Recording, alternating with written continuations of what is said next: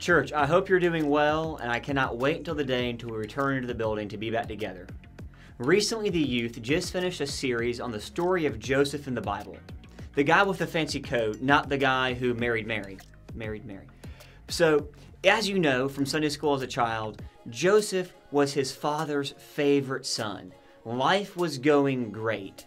He was the favorite son of all the brothers, had a fancy coat to prove it, and not only that, God had told him that he would one day be elect. Kind of a big deal. But then life didn't really go the way that Joseph planned.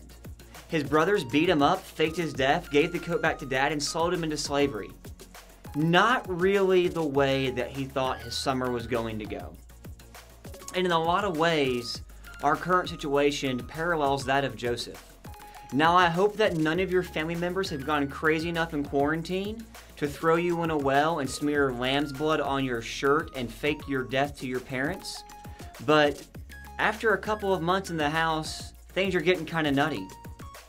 But as we sit and continue to wait for whatever normal is going to return to our lives, we find ourselves in the shoes of Joseph, of looking back at a past that looks nothing like our present and a future that we'll never return to as we once hoped it might be. And as we navigated this story with Joseph and our teenagers, we hung onto one common phrase throughout the series. When you don't know what to do, do the right thing next. And if you look at the story of Joseph, that's exactly what he did. Whenever life threw him lemons, he made lemonade and chose to follow God in his next step, not worrying about the second or third or fourth after that.